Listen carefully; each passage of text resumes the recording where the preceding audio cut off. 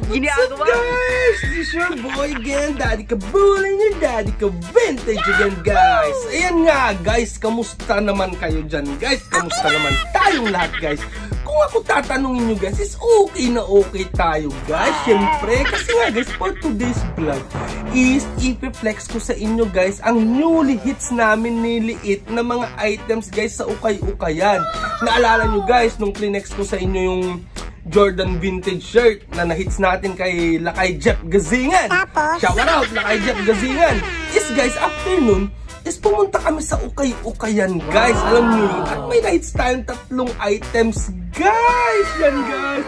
So guys, isisingit ko lang to kasi nga actually pupunta kami kay Lakay Jet ngayon guys kasi Really, may nigga? bidding session sila guys ng kanilang mga items. Eh, Wow. siyempre, susubukan natin makibid. Baka makuha natin yung Chicago Bulls nila, guys, di ba? So, guys, huwag na natin bitinin at ipapasilip ko na sa inyo ang bago naming na hits ni Liit, guys, na vintage item. Let's go! At ayun na nga, guys. Guys. Ito na, ito na. Ito na ang una nating items na ipiflex, guys. Ito guys na items is inappropriate ngayon sa weather dito sa Abu Dhabi guys. Kasi nga, summer dito alam nyo, mainit. Pero itong items na una kong ipiflex guys, kaya inuna ko is jacket kasi to guys. Pero vintage siya guys. Vintage. Yan. So guys, uh, binili ko na to kahit hindi pa winter kasi for sure kung bibili ka sa winter season ng pang winter din na damit at saka lalo na pag makahits ka ng vintage sa winter season ay mas mahal. Ito guys, sobrang hits kasi nga murang-mura. Yun, abangan niyo yung kwento guys. Yan. Wow. So guys, ito na, ito na. Ito na guys, ang una natin i-flex nga guys. Ready na kayo? Ito na guys. Ang Nike Windbreaker guys. Yan. Linis yan guys. Really, nigga? Oh. Windbreaker guys na sweater Wow. or jacket. So Wow. guys, windbreaker yan guys. Oh. Ginagawa mo? Ito guys, hindi pinapansin kasi natakpan to guys, natakpan ng another jacket na Puma. Oh, no. Sinilip ko, ano kaya tong ano kaya tong nakasabi dito? Pagtingin ko guys, is windbreaker na na Nike pa guys. Yan. Ano, walang tama to guys. Sinek ko. Pero nga lang yung nung binili ko sa bahong bawon. Hindi mabaho, yung amoy talaga, amoy karton. Yan. So, siyempre, lalaban naman natin yan ng Dettol. Di ba guys? Yun. Yan nga guys, oh. Linis nito guys, windbreaker. The jacket guys, yan. Linis nito guys, walang tama. Blue, navy blue ang kulay nito. guys. Yan guys, nasabi ko na nga yung tag nito guys is Nike. Yan. Nike is Nike guys. No need for introduction na sa brand na to guys. Nike. Made in Thailand yan guys. Wow. Made in Thailand. Yan. Tsaka ang special dito guys is yung zipper guys. May swoosh. May swoosh yung zipper. Then meron din siyang swoosh dito sa left chest guys. Yan. Malinis guys. Pati stitching malinis. Wala pang tas-tas to guys. Yan. Then may bulsa din siya guys. May bulsa malalim. Wow. Yan, bulsa Ginagawa din, yan. Linis nito guys, may etiketa din to sa loob yan, alam ko. Yan guys, may etiketa din to sa loob yan. Yung wash tag niya. Wash tag, yan. Ano ba nalay dito? Wash tag, wala naman, made in Thailand. Legit na legit to guys, yan. So, hits talaga to guys. Kasi nga, tawag niya to, vintage na, tsaka sa mura lang guys. Ito pala guys, yung tag na na to is mid-90s to late 90s na to yung ganitong tag guys. Yan. Kita nyo guys? From mid-90s to late 90s yung ganyang tag. So vintage na siya guys, syempre. Ayan guys, ang kwento nito guys, yun nga, natakpan. So tinignan ko, uy, hits yun. Sabi ko, windbreaker, inawaan ko pa yung tela. Una sa mataas eh. Yan, is windbreaker guys. E di, kinuha ko. Ito guys, hits na hits. Kasi nga, nakuha ko lang siya guys ng 40 dirhams. Then, times 4 mo, 40 for ay 14, edi parang may 450 ka na na Nike na legit na vintage na windbreaker guys. Oh, 'di ba guys? Eh ang original nito guys na price tinignan ko sa sa carousel. Sa carousel is nasa 170, 160 to 170 guys. So hits na hits, naka-save tayo guys ng 120. Oh, 'di ba guys? Meron na tayong gagamitin para sa winter. That's pretty good. Yan. Oh, 'di ba? Hindi ko na 'to ipipit guys kasi nga mainit dito guys at summer yun. So guys, ito nga ang ating unang items na na hits guys. Yan. So ano inaantay natin? Tayo sa pangalawa guys. Let's go! At ito na nga guys, ang pangalawa. Huwag na natin patagalin guys. Ito na guys, ang Green Bay Packers guys. Yan. Isang NFL team yan guys. Since 1921, Green Bay Packers, ano nalagay? A tradition in excellence yan guys. Yan ang front hit niya guys. That's yan ang pretty good. illustration design niya guys sa harap. Wala namang back hit to guys. Pero goods na goods kasi malinis na malinis to. Really, nigga? Yan. So guys, ang tag nito guys is vintage talaga guys. Gago! Nutmeg Mills guys. Yan, made in USA pa yan guys. Made in USA. Yan guys. Nutmeg Mills, yan. May copyright din siya or dated din siya guys ng 1993. Yan. Then meron siyang nutmeg din dito guys na print. Yan. Nutmeg. Ganda nito guys, promise walang basag yung yung print niya guys, yung illustration print. Yan. Yan, promise ang linis nito. That's pretty good. Yan. So guys, ang nutmeg is hindi pa natin na-discuss dito guys ang nutmeg. Ang nutmeg guys was founded in early 1980s guys by ang founder nito guys is ang magkapatid na si Martin tsaka si Richard Jacobson guys. Yan. Founded founded in New Haven, Connecticut guys. Ang Nutmeg Mills, pinan pinangalanan nilang Nutmeg Mills ang kanilang company kasi dinerive nila ito. They derived their company name sa kanilang new, uh, own hometown na which is ang Connecticut guys yan. Sa New Haven, Connecticut kasi ang tawag sa Connecticut is Nutmeg State din guys yan. Kaya dinerive nila doon para siguro para tumatak guys. Yan ang Nutmeg ang Nutmeg Mills.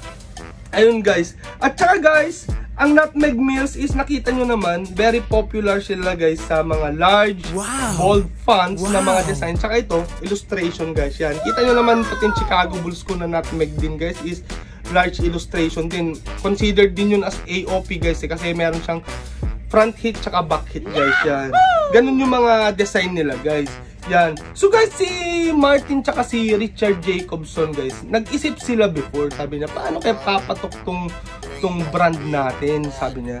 Eh, before guys, alam naman natin sa US, kung anong state ka nakatira is uh, todo suporta ka sa mga sports, sports like basketball, football, baseball, like that guys. Pero, hindi nila tinarget agad ang major leagues guys. Nag-start muna sila sa uh, college age. Really, Which nigga? is, nag-start sila sa University of Florida guys. University of Florida. Sila ang nag-supply ng mga sports apparel ng kanilang mga athletes noon guys. Which is pumatok guys, pumatok. Then sinundan pa ng University of Michigan guys. Yan, at pumatok din guys, syempre, ang Nutmeg Mills. Yan. Ang Nutmeg Mills din guys, naging naging popular na sila noong 1981 kasi sila ang yun that that was the year that Nutmeg Mills partnered with the NBA guys followed by NFL, MLB and NHL and so on na yan, yan guys. 1981 naging naging tanyag na tanyag ang Nutmeg Mills guys hanggang 1990s guys. Yan. Ito ang print ng Nutmeg natin guys. That's pretty good. Ano, di ba? Ang solid guys. Really, nigga? Oh, diba? Pero unfortunately guys, nung 1994 is ah, binenta na ng ng magkapatid na si Martin at saka si Richard Jacobson ang Nutmeg Mill sa VF Corporation guys. Another clothing company din at that time yan guys. Sila na ang nag-manage. And then noong 1994, Nutmeg is totally defunct or bankrupt na guys yan. Hindi na nag-ooperate noon ang Nutmeg guys yan. So guys, ito nga ang Nutmeg is na-hits natin to guys sa Wear Mo Clothing ANC.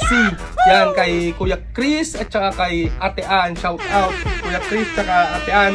Yan, dalawang Ilocano yan si Kuya Chris at si Ate Ann nag titrip din sila.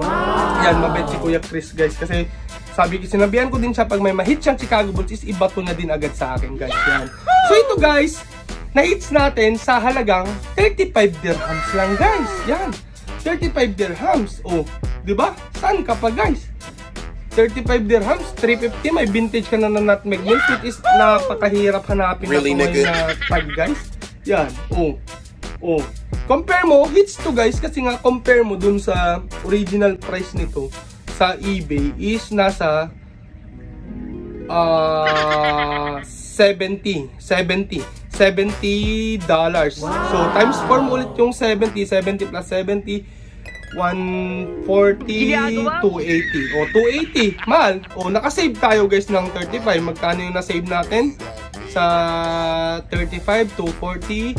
O, di nakasave tayo ng 210 guys. 205 pala, 205 guys. So, imagine nyo guys, 35 dirhams. 5 vintage na naman tayo na hits guys. So, di ba? Yan. Kaya shower out kay Kuya Chris tsaka kay Ate Ann ng Wear Mo ANC Clothing. Yan guys. Sa ukay-ukay yan din to. Oh. Diba? Ganda niyan, guys. So, yan nga, guys, ang ating pangalawa. Proceed na sa pangatlo, guys. Huwag na natin patanggalin. Let's go! Na, guys, ang pangatlo at huli sa ating tatlong na hits na vintage items, guys. Yan. So, mo, medyo nyo, medyo nakita nyo na, guys. Pero ito na, guys. Huwag na natin patagalin. Ito na, ito na, guys. Ang Toronto Blue Jays na championship shirt nila guys noong 1992. Wow. Marami dito guys. American League Blue Jays 1992 American League champion yan guys.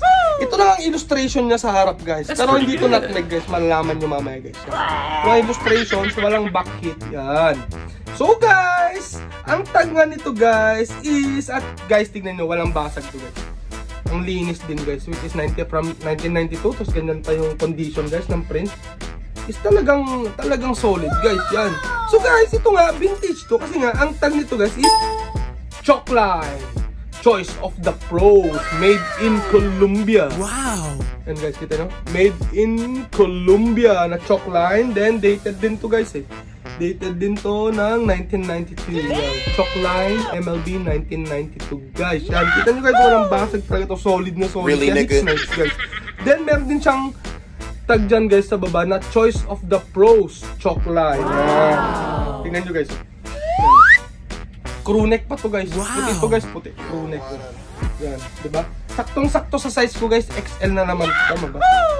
Ay, large lang pala guys. Large lang. Pero fit na fit talaga guys. Promise. Yung kanina, yung nutmeg meals is konti. Ano ba to? XL, yun ang XL guys. Pero siyempre, hindi pare-pareho ang sizing ng mga shirts. Really, nigga? So, large, pero fit na fit sa large to XL to guys. Kaya solid na solid na hits guys. So, ayan nga guys, pag-usapan naman natin ang chockline guys. Wow. Kasi hindi pa namin, natin nadidiscuss dito. Bibigyan ko lang kayo ng konting background guys ng chockline. Ang chockline na brand guys was founded in 1972 guys by Willis Pit Chalk. Siyempre kaya nga chalk line, siyempre karamihan naman ng mga company is uh, nanggagaling sa mga pangalan nila guys yan. So ang founder nito is si Willis Pit Chalk. Yan guys sa Aniston, Alabama, USA guys. Yan. Ang chalk line. Pero guys, ang chalk line na, na brand is nag-start sila na mag-supply sa mga high school sports apparel guys. Wow. Hindi sila nag-start sa mga amateur or collegiate at saka sa major league. Nag-start muna sila sa mga high school, high school sports apparel guys. Ang Chalkline. Yan guys. Pero guys, ang Chalkline is tawag nito, nagland sila or nag-start silang mag-supply sa mga major major leagues noong 1980s na guys, 1980s. Like, syempre, like NBA, wow. NFL, tsaka wow. NASCAR guys, NASCAR.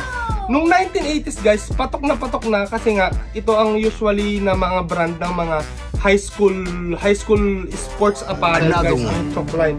Tapos noong 1984 guys, mas pumatok pa ang Chalkline guys noong nag-produce sila ng ano ba tawag doon? Yung gold, sa, satin gold jackets na 49ers guys. Makikita nyo yan guys yan.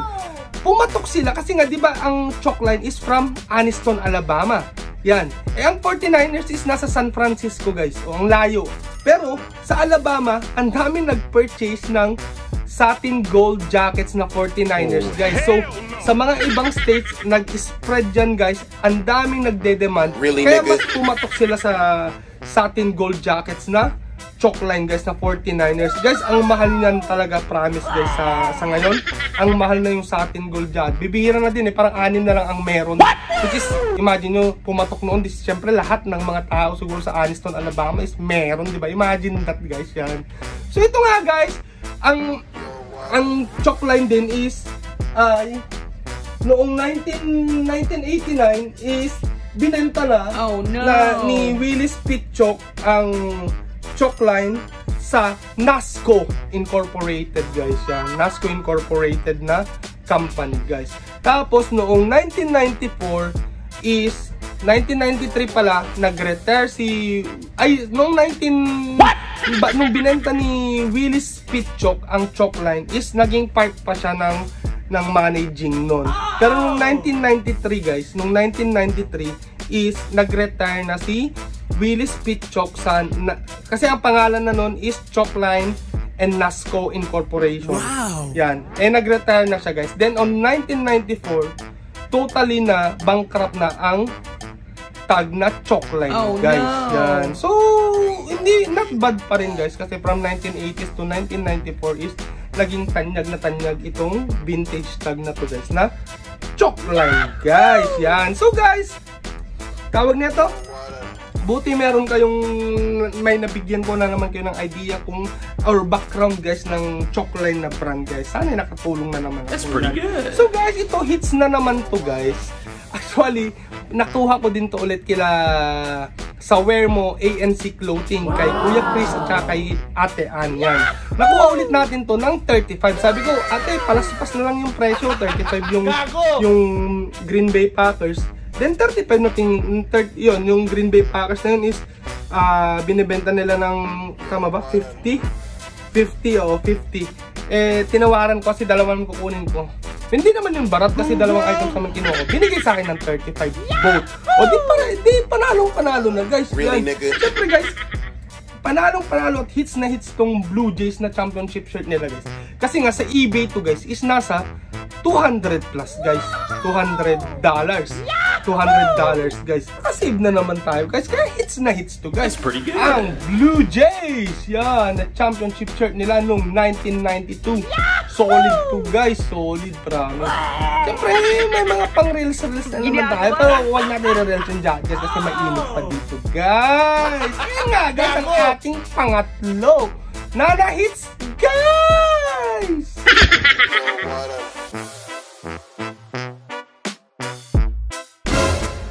ayun na nga guys, nakita nyo na ang tatlong items na na-hits namin lit guys. Ang Nike na windbreaker jacket guys. Ang Nutmeg Mills na Green Bay Packers guys. At ang Toronto Blue Jays na chalk line guys na t-shirt. Yan. So guys, ayun lang naman. Sinare ko lang naman ang aming na-hits ni Liit last time guys. Kasi nga, pupunta na kami guys. Kilala kay Jet at baka maubusan tayo ng ibibid na items guys. Oh, eh, no. titirahin pa naman natin Chicago Bulls nila guys. Syempre naman. So pero, hindi ko kakalimutan na magpasalamat sa inyo guys sa panonood at saka sa tuloy-tuloy na suporta syempre sa mga ganitong content ko guys. At syempre guys, kung di pa kayo nakasubscribe at kung nagustuhan nyo pala yung mga ganitong content guys is huwag nyo kalimutan mag subscribe, mag-like, at saka i-share na din guys. Yun. At saka guys, sabi ko nga, pupunta na kami liit, bagot na bagot na, tara na na. Ayan, bagot na bagot na si Lid, guys. So, guys, magpapaalam muna ako. Here's your boy, Daddy Kabulin, your Daddy Ka-Vintage again, guys. So, yun. Till next time. Peace out. Bye-bye.